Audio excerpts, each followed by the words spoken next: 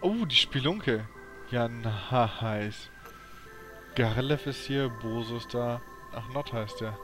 Und da ist ja auch Goal. Zeit wird's, dass wir sie gefunden haben. Okay, Rufus. Das hier ist eine Routinesituation für Frauenversteher wie dich. Ein Goal, Klacks. Also gar kein Grund, nervös zu werden. Du bist redegewandt, witzig, siehst blendend aus und dein Haar duftet nach Lösungsmittel. Nur noch schnell das richtige Gesicht aufsetzen. Hier kommt es. Oh Gott, nein. Charmkanonen auf volle Energie. Und schließlich die passende Einleitung zurechtlegen.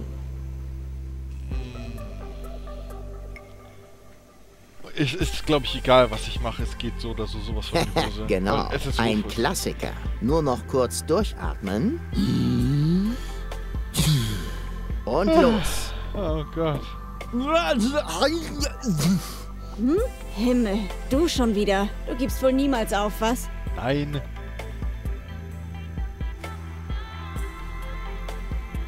Du musst mit zu Doc kommen. Wozu? Damit du meinen Kopf noch weiter demolieren kannst? Ja. Ja, ich hab dir ganz schön den Kopf verdreht, nicht Oh wahr? Gott, Köpfe nein. demolieren und Köpfe verdrehen sind zwei unterschiedliche Sachen. Bei Ja, Tonis. Schildkröte war es ein und dasselbe. Oh Hör mal, Gott. Rufus. Ich bin schmutzig, mein Haar sitzt furchtbar und mein Kopf fühlt sich an, als hätte man mir eine Kreissäge durch die Schädeldecke gejagt. Ja, aber es gibt keine Beweise. Zu allem Überfluss habe ich auch noch Hunger. Also halte dich lieber fern von mir. Wenn du Hunger hast, ich hätte da noch eine Schale Erdnüsse vom letzten Schlammkuchenfest. Igitt, da wachsen ja schon Haare drauf. Ich wette, diese kleine Schale beherbergt mehr Killerbakterien als ein Labor für biologische Kriegsführung. Nein, Killerbakterien sind aus. Das hier sind Grippeviren. Rufus sind wir doch natürlich, dann nehmen wir die Grippe wieder natürlich mit. Du musst mitkommen. Bei der Operation ist was schiefgelaufen. Was bedeutet schiefgelaufen? Kennst du das Märchen von den drei Bären? Im Prinzip war es genauso, nur dass es keine Bären gab. Und äh, dass dein Bewusstsein bei einem neurochirurgischen Eingriff in drei Teile gespalten wurde. Was? Keine Panik, ich bring das wieder in Ordnung.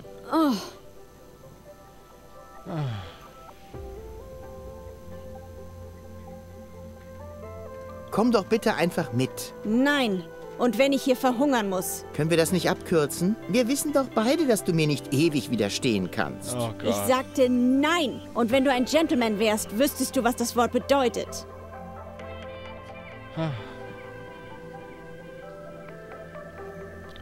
Kann ich dich für ein romantisches Essen begeistern? Eine Einladung zum Essen? Ja. Wirklich? Ja. Vielleicht ist ja doch noch ein Funken Anstand unter diesem speckigen Mantel. Erst das Ah, Essen. ich weiß Mein nicht. Anstand kannst du später noch auspacken. Was ist das für ein Restaurant? Ist es dort sauber? Restaurant? Ich dachte eigentlich an eine extra Portion Erdnüsse. Die sind doch umsonst, oder? Wenn man von den Arztkosten absieht, ja. Sauber. Es wäre ja auch zu schön gewesen. Vergiss es einfach. Mann, Rufus, jetzt hätten wir sie fast gehabt. Ach, tja. Brauche ich vielleicht ein anderes äh, Restaurant? Was kann ich tun, damit du endlich mitkommst? Zuerst solltest du einmal die Bedeutung des Wortes Nein nachschlagen. Okay, nehmen wir mal an, das hätte ich bereits getan. Was müsste ich als nächstes tun? Oh, So schlecht auf mich zu sprechen? wie kommst du denn darauf? Du hast mich entführt, mir eine schwere Kopfverletzung zugefügt. Ich habe es anders in Erinnerung. Du leidest offenbar an Wahrnehmungsstörungen. Du meinst, in Wirklichkeit bist du gar nicht sexy? Halte dich einfach von mir fern, verstanden? Also das bleibt als einzige Möglichkeit da. Das heißt, wahrscheinlich ist es schon das, aber wir brauchen irgendwie ein Restaurant oder sowas. Warte hier, bin gleich zurück. Ist das ein Versprechen? Natürlich. Gut, das erhöht die Chance, dass du wegbleibst. Eine klasse Frau. Ach, du bist ein Idiot. Hallo Boso, alter Pirat. Das hatten wir doch schon, Rufus. Ich bin kein Pirat. Ich bin lediglich ein Schrotthändler mit einem eigenen Kutter. Genau.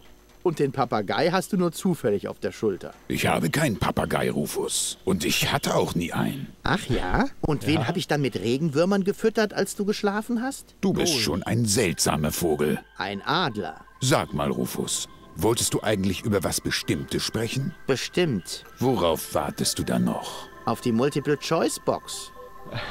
Moment mal. Würmer? Psst, da kommt sie. Yay! Irgendwas ist bei der Operation schiefgelaufen. Meinst du? Für mich sieht sie ganz fit aus. Körperlich ist bei ihr auch alles bestens. So, bum, tschakka, tschakka, bum, yeah. Aber ihr Oberstübchen ist mehr so... Verstehst Wie bei dir. Gewisse Leute hier beides haben Probleme mit ihrem Oberstübchen. Das verstehe ich. Ja, Ihr Bewusstsein wurde in drei Teile gespalten. Jetzt muss ich jede einzelne von den dreien überzeugen, für einen weiteren Eingriff zurück ins Labor zu kommen. deine Freundin gibt es jetzt dreimal? Übernimm dich mal nicht. Eine Frau zu handeln ist ja schon schwer genug, aber gleich drei? Ich schaff das schon. Äh, genau. Okay, warte mal. Wir müssen doch Bis jetzt später. Verlauf dich nicht. können wir nicht einfach die Dinge mal damit auf Goal zielen und abdrücken? Ich muss zuerst eine Datasette einlegen. Also, okay. Was haben wir denn hier? Die Datasette passt schon mal. Jetzt muss Ja. nur die Fernbedienung noch funktionieren. Ja. Dank meines Charmes wird der Rest dann ein Kinderspiel. Oh Gott, das geht so in die Hose, ich sag's dir.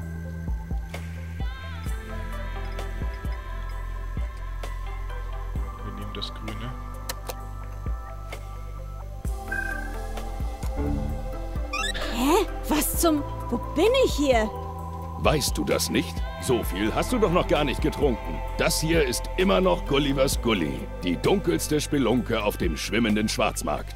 Schwimmender Schwarzmarkt? Doch nicht etwa auf Deponia. Wo denn sonst? Rufus, ich dreh ihm den Hals um. Alles in Ups. Ordnung? Gib mir einfach etwas von deinem stärksten Stoff. Wenn ich schon mal hier bin, kann ich mir auch genauso gut die Birne zuballern. Einmal rostroter Hirntod. Kommt sofort. Ah, die knallt sich hervorweg. Hä? Hallo. Du, was willst du? Wunderst du dich gar nicht, wie du hierher gekommen bist? Nicht wirklich. Du bist in der Nähe. Das reicht als Erklärung. Tja, Ja. ich bin immer für eine Überraschung gut. Du bist quasi das menschliche Äquivalent einer spontanen Selbstentzündung. Ja, das Wow, ist sehr gut danke. formuliert. Verdammt, es kam zu nett rüber. Du musst mit zu Doc kommen. Ich muss gar nichts. Aber es geht um deine Gesundheit. Keine Sorge, mir geht es hervorragend. Aber wenn du nicht mitkommst, Was dann? Bekomme ich blaue Flecken? Wird meine Schulter ausgerenkt? Bekomme ich Nasenbluten? das vielleicht nicht. Aber Du aber, wenn du mich noch weiter so nervst. nerv, nerv, nerv. ich auch. Ähm, Rufus, Was? ein kleiner Tipp unter Freunden. Provoziere niemals eine temperamentvolle Frau. Glaub mir, ich kannte da mal eine Frau, die... Halt du dich da raus. Ach, macht doch, was ihr wollt. Wo waren wir? Ich glaube, ich wollte dir gerade den Barhocker über die Rübe schlagen. Ach ja, prima. Dann weiter. Hey, keinen Ärger in meiner Bar. Verstanden? Oh, Ach ja, ach ja, ach ja. wir müssen den Organon davon abhalten, Deponia zu sprengen. Keine Angst, um den Organon kümmere ich mich schon noch. Ach ja? Und wie willst du das bitte anstellen? Ich trete ihn einfach in den Arsch, wenn sie mir in die Quere kommen. Verdammt, warum bin ich nicht darauf gekommen? Ah, das ist geil, die Seite sind lustig von ihr. Du musst mitkommen. Bei der Operation ist was schiefgelaufen. Na und? Bei deiner Geburt auch. Ja, Aber das willst du mich stimmt. meckern? Jetzt hör doch mal zu. Dein Implantat wurde beschädigt als... Matt, schon langweilig. Bitte, Goal, du musst mitkommen. Zwing mich doch. Wär mal gespannt, wie du das anstellen willst, so ganz ohne Arme. Ich hab sehr wohl Arme. Das sind Arme?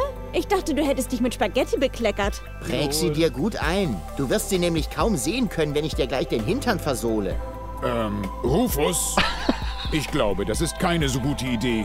Ha, wenn ich jedes Mal einen Slotty bekäme, wenn ich diesen Satz höre. Dann könnte ich mir vielleicht endlich diese Kniescheibenprothese leisten, die ich angeblich so dringend brauche. Ich meine ja nur, man muss vorsichtig sein bei temperamentvollen Frauen. Oder die Stahlplatte für den Schädelbasisbruch. Hörst du mir überhaupt zu? Oder diese Trommelfelltransplantation. Ich geb's auf. Oh, Mann, oh Mann. Hey, Baby. Soll das eine Anmache werden? Gib dir keine Mühe, Schlaffi. Hatte ich Ich auch hätte nicht gedacht, vor. die Ich wickel dich doch im eine. Schlaf um den Finger. Wenn du nicht aufpasst, wickel ich dir bald was im Schlaf um die Luftröhre. Siehst du? Ich habe noch nicht mal angefangen und schon hast du gemeinsame Bettfantasien. Dein Mund sagt nein, aber deine Augen sagen ja. Willst du auch noch hören, was meine Faust sagt? Na, Ja. vielleicht erstmal nicht. So geil. Du bist echt ziemlich lässig. Wir passen zusammen. Träum weiter, Schlaffi.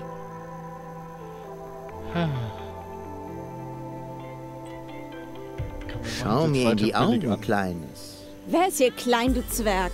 Ach ja? Wen nennst du hier Zwerg, du Lulatsch? Ach ja? Wen nennst du hier Lulatsch, du Ratte? Ach ja? Wen nennst du hier Ratte, du? Hey, keinen Ärger in meiner Bar. Verstanden? Hat es eigentlich wehgetan, als du vom Himmel gefallen bist? Ja, verdammt. Ach ja, wahrscheinlich schon, ne? Was macht eine Frau wie du an einem Ort wie diesem? Im Augenblick kämpfe ich dagegen an, einzuschlafen, so müde wie deine Sprüche sind. Ja.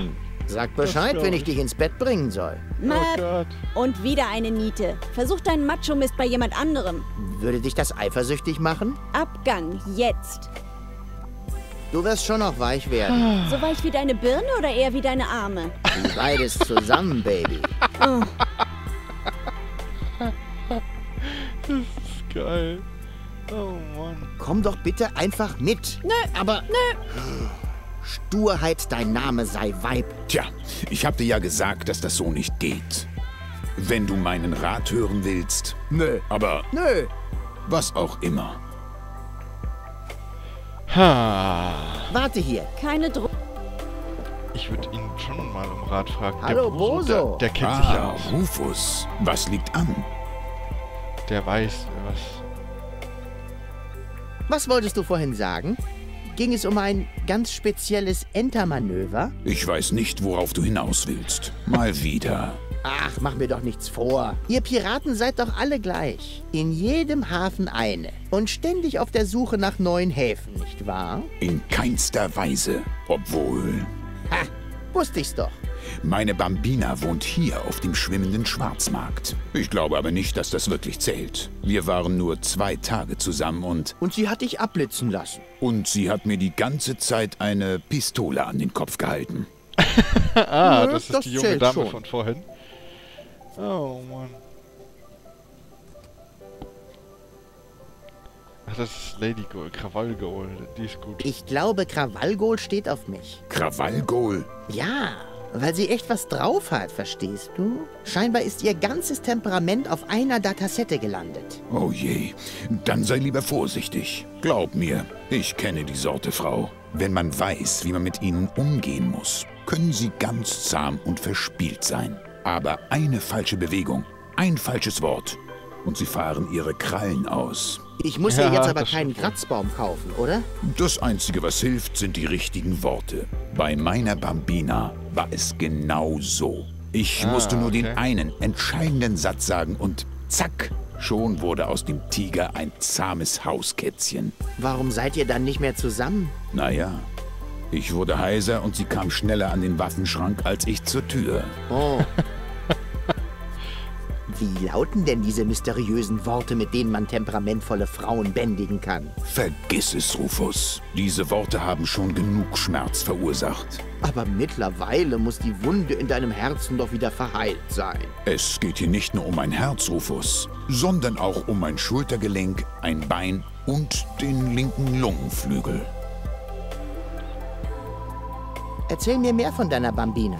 Tja, sie ist die temperamentvollste Frau, die ich kenne. Ihr gehört der Waffenladen in Klein-Venedig. Ein echtes Mordsweib. Auch wenn sie nie verurteilt wurde. Es ist schon eine Weile her. Da habe ich mein Herz an sie verloren. Gott sei Dank hatte Doc noch ein Spenderherz auf Lager.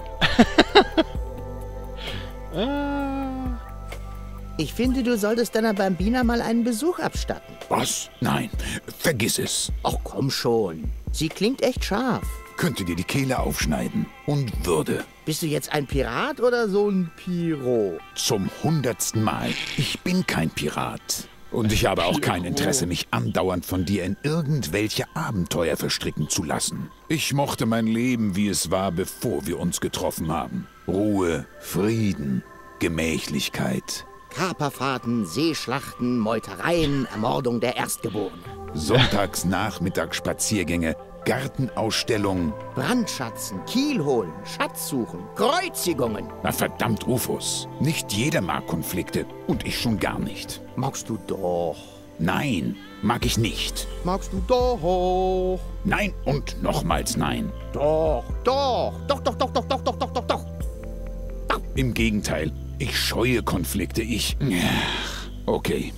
Ich gebe auf. Pah, wusste ich's doch. Du stehst immer noch auf sie, nicht wahr? Ich werde mal bei ihr vorbeischauen. Triff mich in Klein-Venedig vor dem Waffenladen, okay? Ich werde seelischen Beistand brauchen. Und medizinischen. Schon schaut? klar, du alter Haudegen. Oh Gott.